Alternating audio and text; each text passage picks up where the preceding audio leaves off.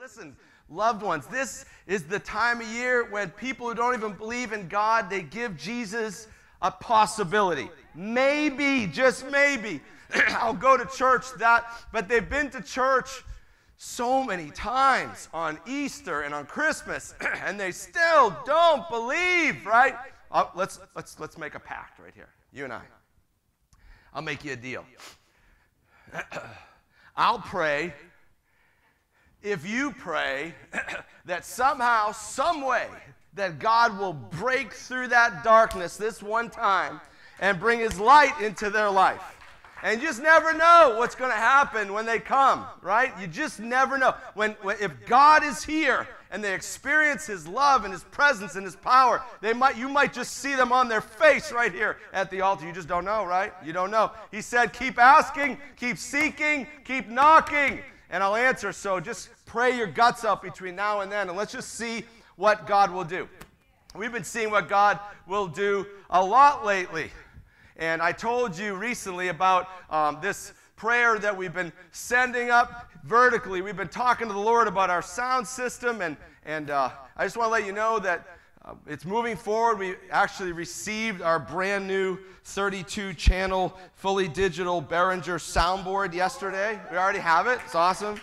And so, uh, and from what I understand, I don't know, uh, God is spoiling us. I think that there may be a brand new computer system back there here very, very soon as part of this whole situation. So praise God for that. Just super, super excited. For those of you who are joining us on Facebook, I want to welcome you. I don't know where you are, but I'm certainly glad uh, that you're with us. And I know that our dear sister in the Lord, Ashley, who sits right there in that recliner, she is not feeling well tonight. And so we know that you're not able to be here, but we just want you to know that, let's hear you are loved. You ready? We just want you to know that you are totally loved. And Steve, and Kay as well. So glad you're here with us. And we're going to crack our Bibles open in, in just a moment. But before we do, I, I, was, I was reading my Bible this week, and I hope that you were doing the same thing. And, and when I was reading my Bible this week, I was super, super excited. I, I stumbled upon this amazing truth. And it started, it was like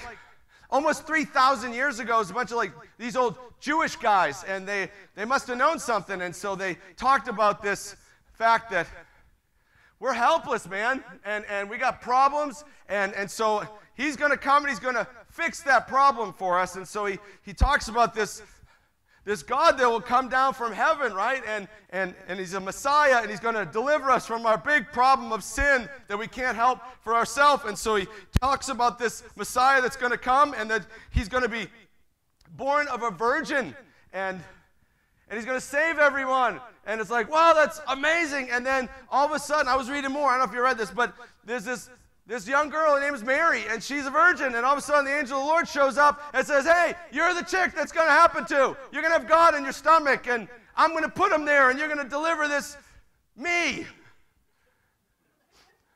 that awesome? Did you guys know this? Of course, you know this. You've all heard this a thousand times. It's, uh, it's certainly not new, but it's very, very exciting. Very, very exciting. So exciting, we've been talking about it for over 2,000 years. We've been talking about it, and not just on Christmas. We're talking about it every week. Hopefully, talking about it every single day. It's definitely not new, and it's certainly exciting. But I did find something in the Christmas story that I thought was definitely not new, but super, super exciting. And I want to share that with you tonight. And listen, you have to get this. Okay? You have to get this. If you don't get this, you don't get nothing. You got to get this, okay? So, because you got to get this, and we understand that it's crucial. I can't do, I can't do the job. I could be a mouthpiece, but I can't do the job. I could sit up here and be the greatest speaker on the planet, but unless the Holy Spirit attaches himself to these words and it rushes upon your heart, nothing will happen. So, if you're willing, take a moment with me and let's let's just do what Christians do. If you're new here, I see some new faces, you might think we're totally crazy talking to a ceiling. Humor me. We believe that our God is listening. We believe that He's here right now in his, by His Spirit, and He's here to not only talk to you and to love you, but to teach you and also to hear your praise. And He was, when we were singing, I know He was smiling. He was smiling, man. So let's pray. Let's pray and let's ask Him to do an incredible work here. God, we, uh, we are so very grateful for this weekend. And Lord, I understand that people object to Christmas in so many ways. Everyone's got their opinion on it. There's only one opinion that matters it's yours. Mine doesn't matter. Nobody else's matters. Your opinion on this day, no matter what it says on a calendar, this is your day that you have made, and it is a perfect day to worship you. Whether it was a celebration and remembrance of, of the day that you came or not, it's still a good day to worship you. It's still a good day to, to, to bow before you and to let you lead us, Lord. It's a great day for that. And so, Lord, we would just give ourselves over to you right now and we would offer our bodies as living sacrifices. We would bow and be humble before you and just ask that you would be lifted up and that we would be lowered and all of the schedules and all of our priorities would be laid aside in the presence of the great King. And we pray, Lord, that your Spirit would do as your word promises he will do, and that is to lead us into all truth. And so, Lord, let the words of this preacher be guided by your Spirit, and let the hearts of your people be pierced by your Spirit, so that we might worship you in spirit and in truth all the days of our lives. Use this tonight, this time, to help frame our worship moving forward. We thank you, Lord, and we ask these things in Jesus' name. Amen. All right, so awesome. So why don't you do me a favor, like we do here all the time? What I'm about to do. Tell me what I'm about to do. Yes, I love you guys. Open your Bibles to Matthew chapter 2. Matthew chapter 2. And, and I'm not going to listen. If you want to know the Christmas story, if what I was saying a moment ago, you're like, wow, that's amazing news. I never heard that before. Like if you've never heard that before and you want more, definitely be here on Monday night. We're going to go through the whole story so you can have a full uh, glimpse of exactly what happened. And uh, tonight I'm not doing that. Tonight I'm going to read uh, two verses from this Christmas story. And we're going to we're going to just pause right there and we're just going to learn something from this. It's an awesome truth, and I believe it's going to bless your heart. So if, uh, if you're in Matthew chapter 2, just go ahead and let me know if you're there. You're there, okay, because I don't want to leave anyone behind, right? Um, chapter 2, verse 1 Jesus was born in Bethlehem. Y'all knew that, right? Okay, cool. Uh, Jesus was born in Bethlehem in Judea during the reign of King Herod. About that time, some wise men were uh, from eastern lands. Where were they from? Yeah, we don't know exactly, right? God wanted us to know. He would have put it in there, right? Awesome. And, and so, about that time, uh, some wise men from eastern lands uh, arrived in Jerusalem asking, Where is the newborn king of the Jews? We saw his star as it rose, and we have come to worship him. Right? That's the exciting news. You know, it's funny.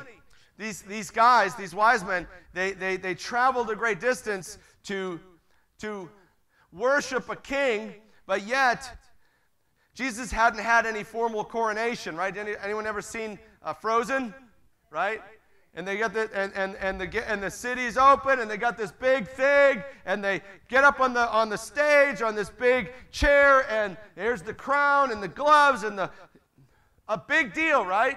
Uh, did Jesus have one of those? No, he didn't. He, he never had a formal uh, coronation. He never had a, an, he didn't have an Old Testament prophet like show up or something in the stable and say, hey, you know what? Someday you're, you're going to be, you know, you're going to be the king. And, you know, that happened with like King David, right? King David was an awesome king. And, and one of, an Old Testament prophet, this guy Samuel, he, like God said, that's the guy. I want you to go tell him he's going to be the king someday. So he went over there. He said, hey, you're going to be the king, right? Well, that's, that's awesome. But that didn't happen with Jesus. As a matter of fact, Jesus hadn't done anything to earn the title of king yet. Uh, here on earth, he was just born. I don't, how long ago was he born? I, I don't know. Just like recently, right? Uh, could have been an hour, could have been two hours, could have been a day. I don't know, but he was definitely just born. And so, with no coronation and, and, and not proving himself in any way, um, these guys have come to, to worship. Now we understand later on in life that Jesus, you know, he gave sight to the blind. And feel free to say amen anytime you want to. Um, just if you think that Jesus is awesome and you want him to know about it, you can just let him know. He, he, um, he gave sight to the blind and he, he, uh, he cleansed lepers and he stopped, inter- like this woman had bleeding, like internal bleeding or something for like 12 years. And she went to every single doctor and spent all of her money and she couldn't get healed. And just by simply touching the fringes of his robe, the bleeding stopped and, and paralyzed people were walking again. And, and he was casting out demons and walking on the water. And, and there was a big storm, and he's sleeping in the boat. And the, and, and the storm's freaking out his guys. And he, he gets up and he's like, Stop. right, done. And, and then he goes and uh, he raises some dead people from their grave. That's awesome, right? And, and, and that, like, that should be enough, but, to, but it's not enough because to top it all off, then he raises him. How does he? He raises himself from the grave and just walks right on out of there. That was a really good place. Wow, you blew that one. You blew that one. And he walked out of the grave. All right. Awesome. Awesome. See, this is the part where you get to participate in the sermon, and you get to let these slackers who are going to show up tomorrow, you got to let them know how we party on Saturday night, right? Amen. Yeah, that's right. Amen. Right. Okay. So, so we're dorks now. So when we party, we just say amen, right? That's what we do. No, but but listen, when when we realize you know, when he, when he gets older and he's cleansing the lepers and the blind people are seeing and the paralyzed people are, are walking and, and, the, and the dead are being raised from the grave, right? Then we bow. That's easy to bow to a dude like that, right? That's easy to bow to a guy like that.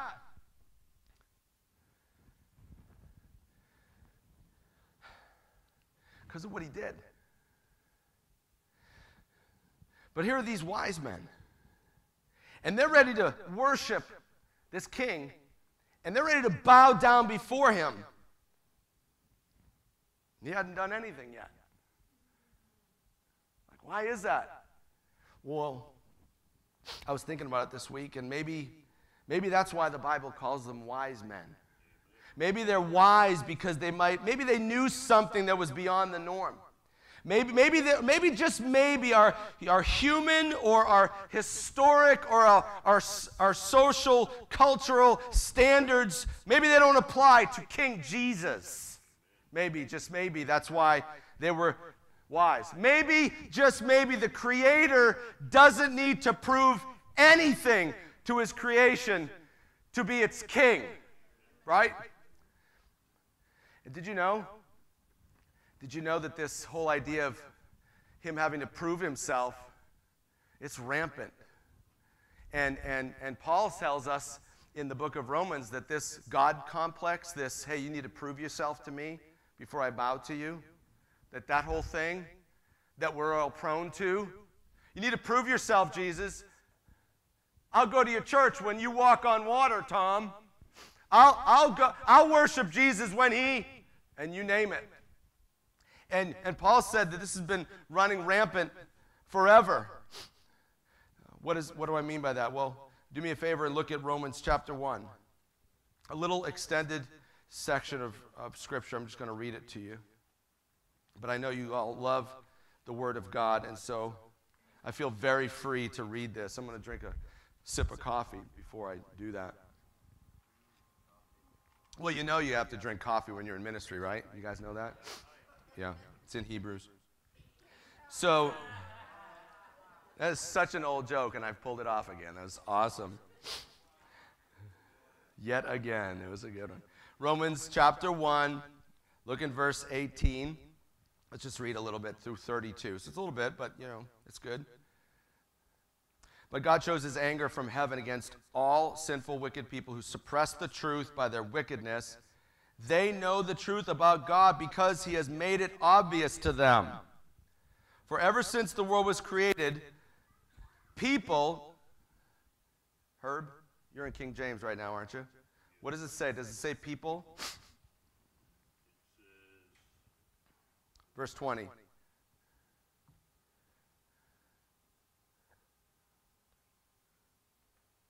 What's it say? Romans chapter 1, verse 20.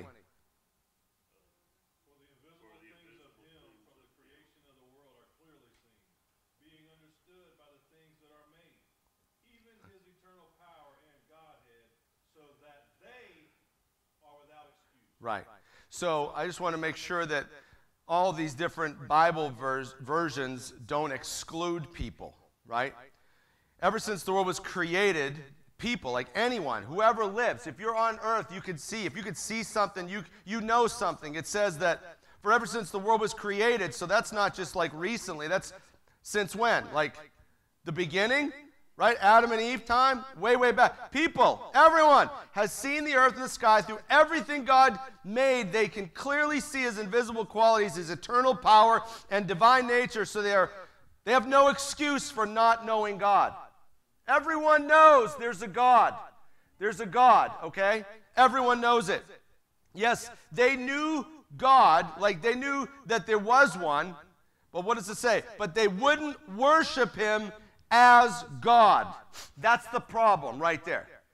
Everyone knows who, everyone knows that there is a God, but no one will worship him for who he really is or even give him thanks. And they began to think up foolish ideas of what God was like. As a result, their minds became dark and confused. Claiming to be wise, they instead become utter fools. And instead of worshiping the glorious, ever living God, they worship idols made to look like mere people and birds and animals and reptiles.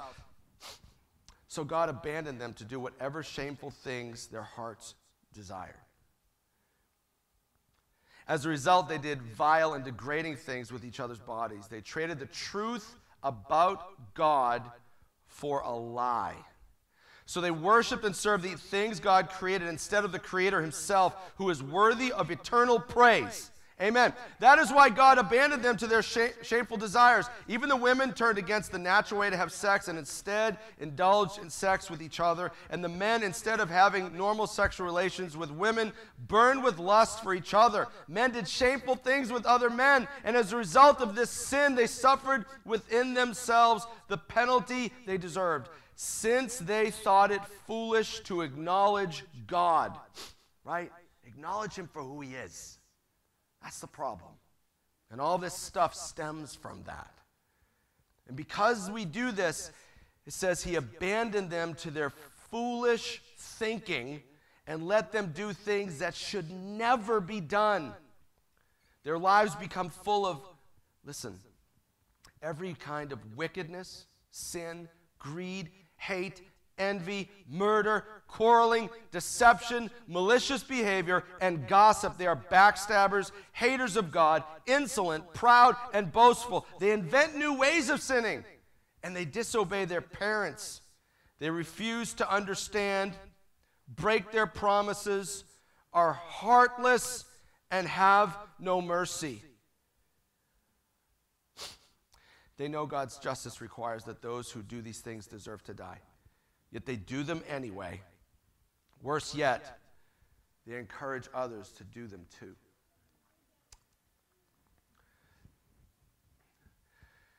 So, this is Paul writing the book of Romans. But this is an indictment on us. This is an, listen, don't be fooled to think that this old dusty book was just written to them. That's an indictment on us. And every single one of you that either read it just now or heard my voice, you could hear America des- described to a T right there. Because we will not acknowledge God, we will not worship God for who He is. And that's a massive problem. What God wants to do is He needs to change our perspective. He needs us to worship Him for who He is, not what He can do for us. Okay? That's what we need. When we evangelize, you know, you go to people and you're like, hey man, you should accept Jesus. Because if you accept Jesus, He's gonna, he's gonna save you. He's gonna save a place in heaven for you. And if you accept Jesus, He can deliver you from your illnesses and all your strife and all of your problems. And all your kids are gonna be blessed. And you're gonna be blessed. And everything you lay your hands to is gonna be blessed. And we tell everybody, oh, if you do this, if you take Jesus, if you get Jesus, here's all your benefits. Here's all your benefits. Here's all your benefits. And are those things true? Yes, they are. They're very, very true. But is that the reason why you should worship Him? No. You worship Him for who He is. You don't worship him for what he can do for you, right? He is God and he deserves to be praised at all times. All the time, all the time. See, this thing that, that Paul's saying in the book of Romans, this is a universal indictment against all of humanity, including right now. And you can see America in this. This is a problem that we have. We will not acknowledge God for who He is. We will not worship Him for who He is. It's a massive problem. See, there's a massive problem when we think that the sun revolves around the earth because we live in it. Because we're so awesome that everything revolves around us. That's a massive problem. And, and it's like a house that's, that's built on a crooked or a broken foundation. Eventually, everything starts to crumble. That's a massive problem. And that's the problem that Paul is telling us here in Romans chapter 1. We don't worship God for who He is. We don't bend our knee and bow down before Him for who He is. We want Him to prove Himself to us. You need to prove yourself to me before I worship you. And when we think God needs to prove Himself to us in any way, shape, or form, you put yourself in a very dangerous place. He doesn't have to prove anything to anybody ever. The scripture says, from everlasting to everlasting, I am God. No proof, no justifying anything. That's who I am. I am the great I am, and you're not. Worship me. Listen, nobody likes to be yelled at and told what to do, but I'm yelling at you and telling you what to do. And when you do it, you will find joy. You will find joy. When you give yourself over to Jesus and you bow your knee to Him, whether you want to or not, whether He's done, listen, He has done stuff for you. You just haven't recognized it as such. Are you breathing? Did you eat today? Praise God. We worship Him for who He is, not for what He can do for us. So, let's, uh, let's just go back like. 800 years before Paul. And let's talk about one of these old dead guys. Isaiah chapter 45. Just go back there real quick. Let's just see if this has been like going on for a while. Paul says it's been going on for a while. we don't want to. we don't want to uh, base our relationship on the Lord on one little section of Scripture, right? That's dangerous. People do that, and I don't want to do that here with you. If we're going to base our worship on something, it should be something that you can find as a strand throughout all of Scripture, right? So you saw what was happening over there in the New Testament, Romans. How about here in chapter 45 of the book of Isaiah? 800 years before Jesus shows up, Bethlehem, you got some people whining and complaining and prove yourself to me. And what does he say in chapter 45, verse 9? What sorrow awaits those who argue with their creator? Does a clay pot argue with its maker? Does the clay dispute with the one who shapes it, saying, Stop, you're doing it wrong? yeah. Does the pot exclaim, How clumsy can you be? How terrible it would be if a newborn baby said to its father, Why was I born? Or if it said to its mother, why did you make me this way? Can't you just see it? Can't you just, this is people. You need to do something. You need to do something, God. I don't need to do anything, yo. Nothing. Nothing. Who would dare? Read on. This is what the Lord says. I love that too. It's like, shut up and listen. The Holy One of Israel and your Creator. This is who I am, right? We're worshiping Him for who He is, not for what He's. Listen, before He does anything, what does He say? This is who I am. Listen up, right? Listen up. Do you question what I do for my children? Do you give me orders about the work of my hands? I am the one who made the earth and created people to live on it. With my hands I stretched out the heavens, all the stars at my command. Right? I don't have to do anything for you. Why are you even. Shh. This is a position problem, right? This is what this is what Isaiah is talking about. It's a position problem. You think you're up here and you can tell somehow tell the God of heaven and earth, the one who spoke the, the universe into existence, and you can tell him what he needs to do. It's a position problem. And, and we need to learn to be humble before the Lord and, and, and bow down. And, so, you know, sometimes when we pray, it's so good to come to the altar, right? There's not, is there anything mystical, magical, wonderful about the front of this stage here? Nothing. But you know, that it says something to the Lord when you just get down low, because that's what worship is, right? Worship is when you exalt something, right? So we step down off the stage and we say, God, you are, I, I saw you and you were on your throne and you were high and lifted up, and I'm not, and I'm down here, I'm just little and I'm nothing, and you're everything. That's worship. That's what we do.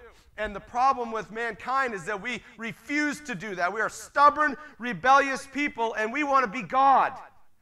And we want to tell him what he needs to do in order for me to worship you. And he's like, wrong. Flip that thing, man. You got something wrong here. It's a position problem. I am, right? I am.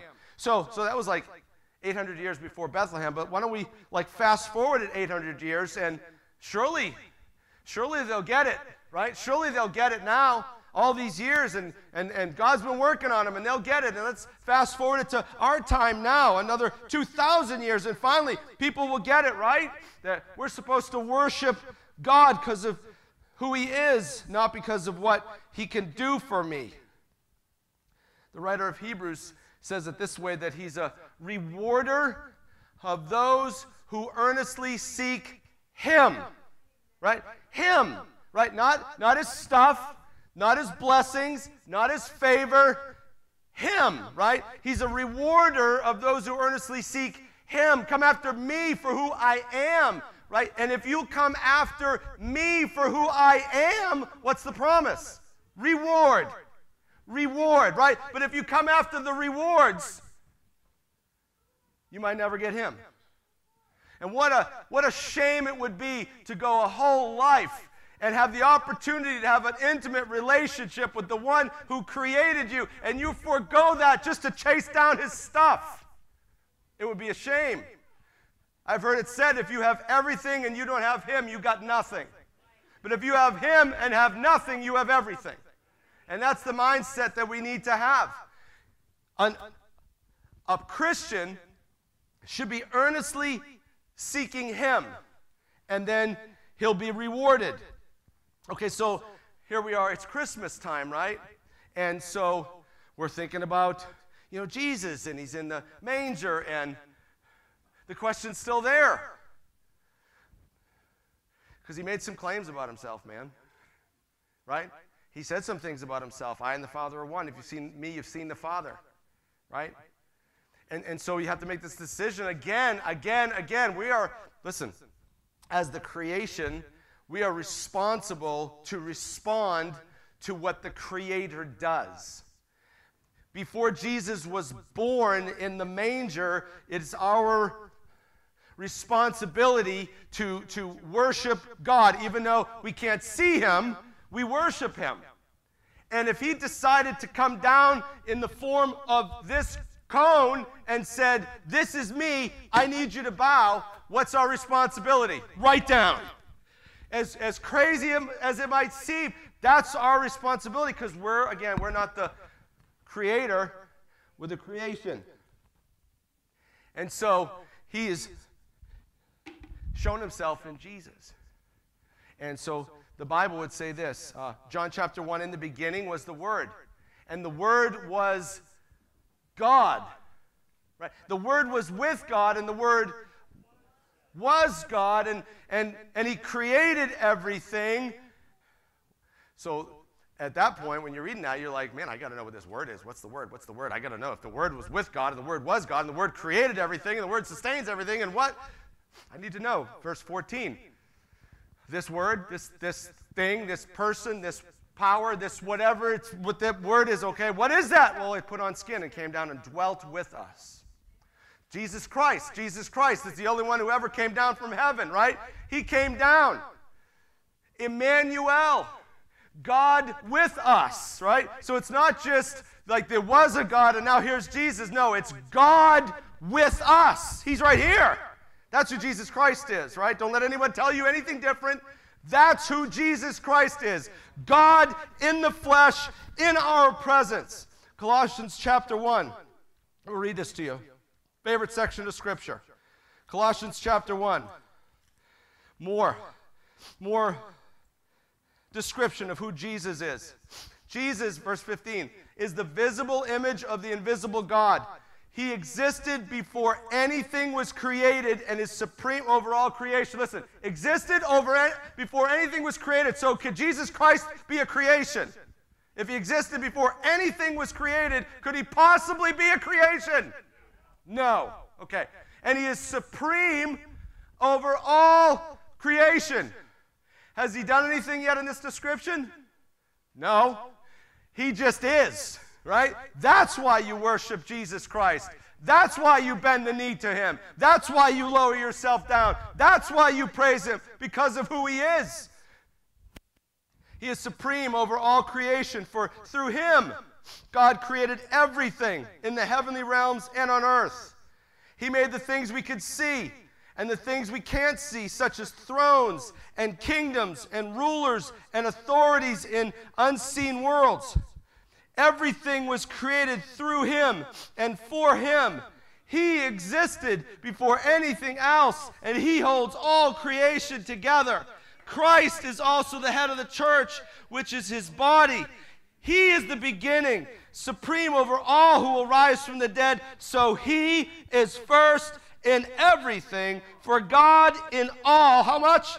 All, in all his fullness was pleased to dwell in Christ, we bow. That's what we do. We bow to who Jesus Christ is, not for what he can do for us. That's what we do. And so, listen, so there's the Creator.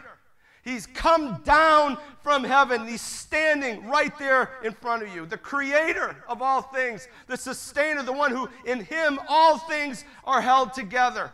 And he's standing right there in front of you now. And my question to you is will you bow or will you demand proof? That's the question.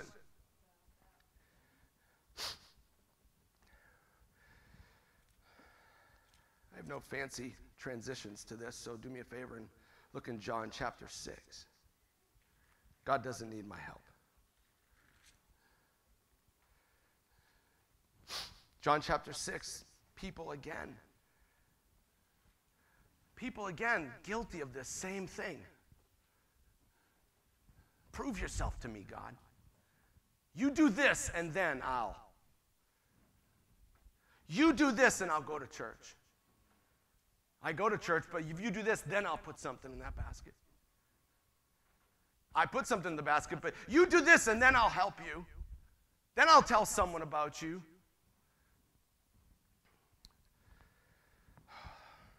So much running around in Christianity. Everyone telling everyone else what's most important, what they should do, what they shouldn't do, how the salvation should look, how you're supposed to serve, how you're supposed to give, how you're supposed to dress, how you're supposed to sing. This is the most important part. This is the most important part. Verse 29 of chapter 6, Jesus tells him this This is the only work God wants from you. believe in the one he sent. That's it. Believe in the one I sent. Believe in the one who put on flesh and came down. Right? All the other stuff is going to happen on its own. This is what you need to do. And it's not about what you can do or what he can do or what he's done. Listen, just believe in me. When he was sent, he was a baby. He hasn't done anything. He's just sitting there in a crib, crying. You have to try to figure out which denomination Jesus belongs to when he's in a crib crying? Jesus says, Now listen, this is what I want you to do. Just believe in the one that he sent.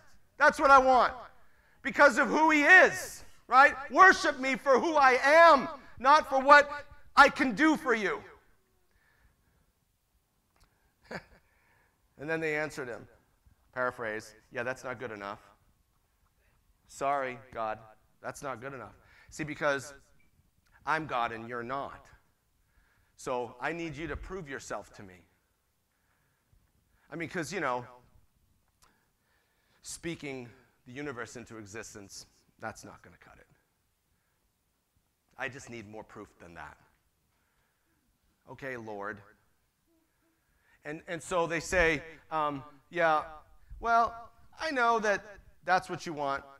I want you to just, you know, put me where I belong. That's what Jesus is saying there in this believe in the one he sent. He said, just put me where I belong. I'm king. I'm Lord. Believe in me. I'm the Lord. And they're like, yeah, that's not going to cut it. So why don't you do this? Um, show us a miraculous sign if you want us to believe in you. You know, there's a lot of miracle chasers out there. There's a ton of miracle chasers out there in Christianity, and they, they probably, no doubt, they love the Lord. That's fine. I'm not questioning that. They're chasing miracles because that's evidence of God. I have news for you. He doesn't need to prove himself to anyone ever. You understand? If, if, if you never lived and this world never existed from everlasting to everlasting, He is God. He doesn't need to do anything. Anything that He does is for His glory and your blessing. He doesn't need to do anything for anyone to prove himself. Jesus Christ is Lord, and that's it. Whether you think so or not, whether he proves it or not, they said, you see it here, show us a miraculous sign if you want us to believe in you. I could just see God going, really? Right? Show us a miraculous sign if you want us to believe in you. What can you do? Can you imagine the gall? You go up to Jesus Christ. What can you prove? What can you do? Right? He should have smacked him. if I was Jesus, I would have smacked him.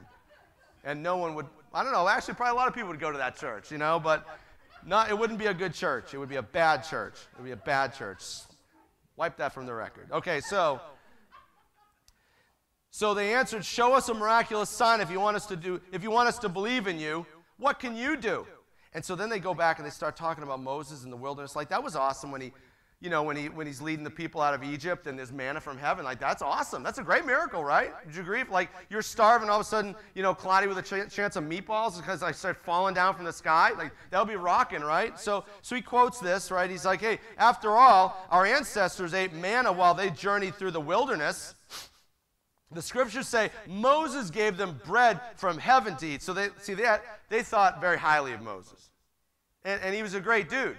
And he did great things. But remember, it's a position problem. See, they're putting Moses now where God belongs. And, and, most, and, and really, they think that they have the right to put Moses where God belongs, which ultimately doesn't put Moses in the place of God. It puts them in the place of God because they get to decide. And that's way, way, way wrong. So it says Moses gave them bread from heaven to eat. And then Jesus, rolling up his sleeves, Jesus said, I tell you the truth. Moses didn't give you bread from heaven. Like, can you imagine that? Like, boom! You think you know everything. He says, My, my, listen, that's a big thing when he says, My father did. My father did. That puts him in a place of preeminence right there, right? Moses didn't do anything. My father did it. And now my father offers you the true bread from heaven. The true bread of God is the one who comes down from heaven and gives life to the world. He's like the one who came down, stepped down off of his throne, put on skin, and dwelt among you. He's the one who gives life to everyone. Moses is nothing compared to me. He just dethroned their greatest leader ever and stepped in and said, I'm the boss. I'm the real thing. Are you living? Yes, it's because of me. Are you breathing? Yes, it's because of me. Are you eating today? It's because of me, not because of Moses. It's awesome. Awesome truth. And listen, God of heaven, that's who he says he is. I am God of heaven who came down here because of my love for you. For God so loved the world that he sent his son. That's who was standing in front of them, and he stands before you today. And in Matthew 16, it tells this same story, but it elaborates a little bit more. And it says, it quotes Jesus saying that those people who base his authority on what he will do to prove it are wicked and adulterous. Wicked. I need to prove myself to you? No, I do not. You are wicked and adulterous people. And so, all of this that I've shared with you this evening so far, let's, we could melt it all down into this very, very simple, simple statement that we'll find in Acts chapter 2. Acts chapter 2, verse 36, it says that Jesus is both Lord and Messiah. He is Lord and Messiah.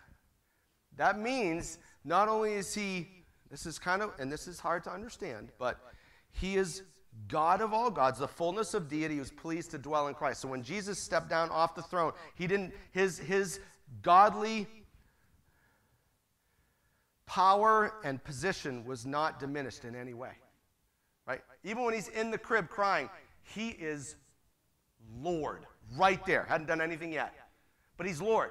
And he's also the one who's sent to put you into relationship with God. So he's God and the messenger and the one who brings you to God. He's both.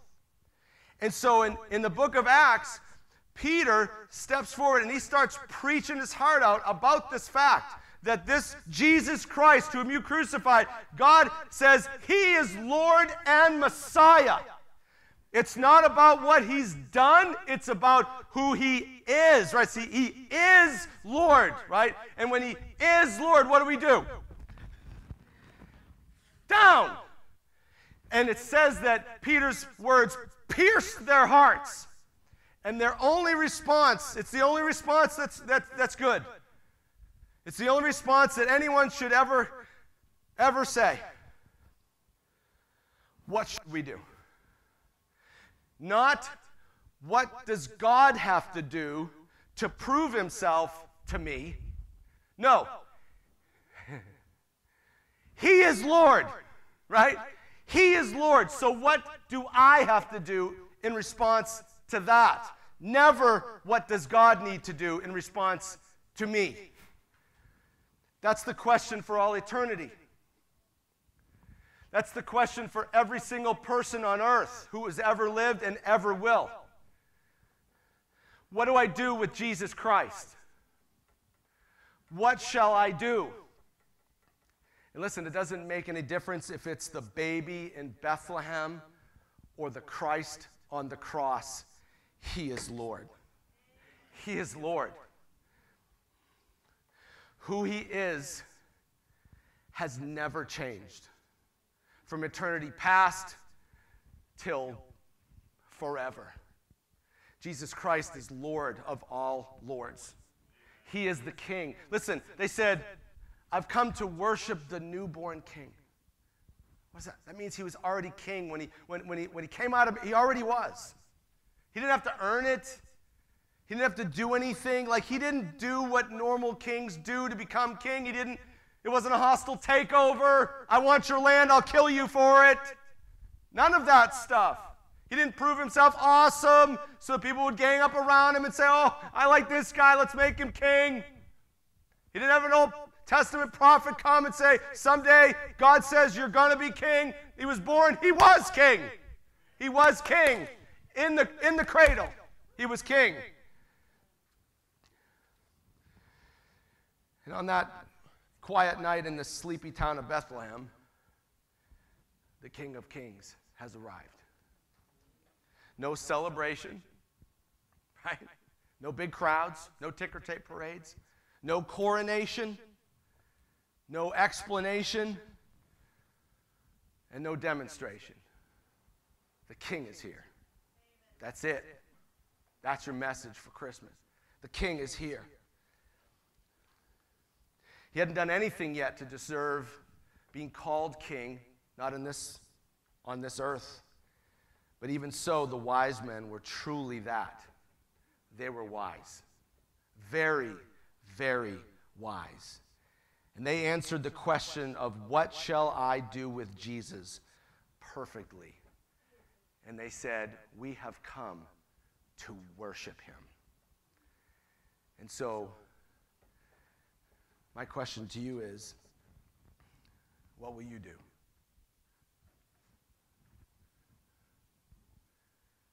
Have you worshiped him yet? Have you told him, I acknowledge that you are the Lord? And if you never did another thing good for me ever, you are Lord. If you, if, you, if, you didn't, if you don't save my children, if you don't save my neighbors, if you don't prosper my business, if you don't grow this church, if you don't save our country, you are Lord. You are Lord. If you never did a if I didn't draw another breath, you are Lord. Have you done that? Have you done that? Have you really done that? I'm not talking about saying yes. You know what Lord means? You obey what He says to do something. I'm not talking about some formal religious act where you got up and even went to the altar. I'm talking about have you made Jesus the Lord of your life? That means are you listening? When He says to do something, are you doing it? Or are you just wearing a cross on your chain? What this world needs Forget, forget for a moment what you need to do. What this world needs is they need to see authentic followers of Christ. They don't need to see another religious exercise, another religious program. They need to see people open it, read it, and do it. That's what they need to see. And that's what Jesus wants to see. That's, listen, it's not a, it's not a confession with your mouth that Jesus is Lord so much as the confession of your life that makes Jesus the Lord of your life. It's what you do, it's how you act, it's how you think, it's how you love, it's how you forgive. It's all of it. And so, what are you going to do? It's Christmas 2018. This is a great opportunity to say, you know what, Jesus, you haven't been the Lord of my life. You've been a figurehead that I've always respected and admired, but you have yet to become the Lord of my life, and I don't want that to be anymore. You deserve for, my, for me to praise you. You deserve for me to bow down before you and call you Lord. And so I'm asking you, unashamed, don't be ashamed of him, or he'll be ashamed of you in his coming. If you have not yet made Jesus Christ the Lord of your life, you need to, I would just, I'm, I'm just telling you right now. I don't care if you're embarrassed. Everyone here would love you. We would embrace you just, just throw your hand up. Just say, I want to be a, I want to be a Christ follower. I want to make Jesus Christ the Lord of my life. Uh, that's it. Awesome. There's a, there's, there's a couple right there. That's awesome. Praise God. You guys happy about that? I'm happy about that. Awesome. Will you help, will you help love them? Will you help teach them? Will you help lead them? Right? They're part of the family. The, the Bible tells us that when, when, when we're in Christ, we're a new creation. The old has died. Behold, there's a new person. They've, they've, they've, become a new person when they've embraced Jesus Christ as Lord. His Holy Spirit comes to live inside of you now and to help lead you into obedience to what His Word would say. That's an awesome thing that just happened. That's an awesome thing that, that just happened. Listen, if you have been in church forever and you're embarrassed to admit before people that you have not been following the Lord Jesus the way you should, Not the way I would think and not the way Tom would think, but the way your conscience is chewing at you, telling you you are not doing it the way you should have. Raise your hand and dedicate afresh your life to the Lord Jesus. And just and you just you're not raising hands, so we're not going to clap anymore. Just raising it to Him so the people so He could see this is what I want. Just give your life to Jesus Christ. Awesome. There's someone. There's someone right there. There's another one. He, he loves Jesus two times. He, there you go. Awesome. awesome. Here's more. Awesome. So, so let's let's just do this. Let's just pray. Let's just do this right now. Let's just let's and then we're going to sing. We're going to worship Him, right? Because He's worthy of that. Not for anything that He's He could possibly do for you for this Christmas. If you're hoping, if you're wishing and praying and asking Jesus Claus to bring you a, a, a stinking toy, forget it. It doesn't make any difference what you want. Just take some time and just be thanking Him. Let's just thank Him and worship Him, not for what He can do, not for this next year that's going to come, might never come for some of us in this room. You never know. Let's just thank Him for who He is, right? Let's just thank Him and worship Him for who He is. Lord God, we love you, and we admit I just, I, I can't do this.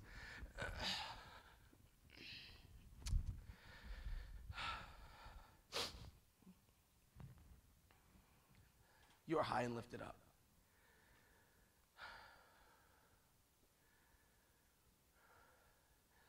And today, Lord, right here in this place, right now, we stand with you. And we say, Lord, that you don't have to prove anything to us ever again. Never will we insist that you do something to prove yourself to us.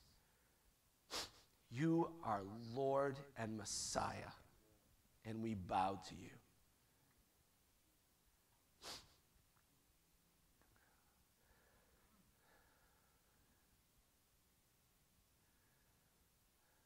Lord, I pray for those that raise their hand for the first time, that truly want to put you where you belong and have a relationship with you that is positionally correct, where you are the Lord. And you, as Isaiah would say, are high and lifted up. And we are not. We exalt you, God. And we put you in your proper place on your throne, on the throne of our heart. And Lord, right now, no fancy nothings. We just want to worship you the way you deserve to be worshiped. So, as a sign of our worship revolution, why don't we come to our feet and let's worship the God of heaven.